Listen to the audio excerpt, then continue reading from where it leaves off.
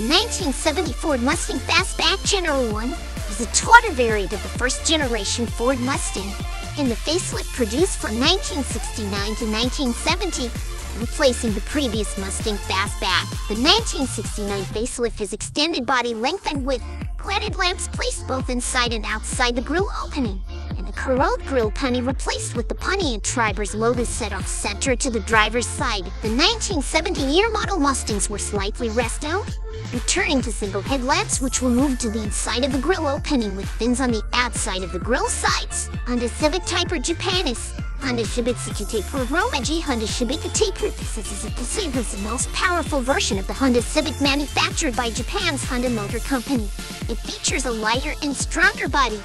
The engine has been adjusted and the efficiency of the brakes has been improved. Red is used in the emblem and interior to give it a sporty look it's, it's apart from other Honda models.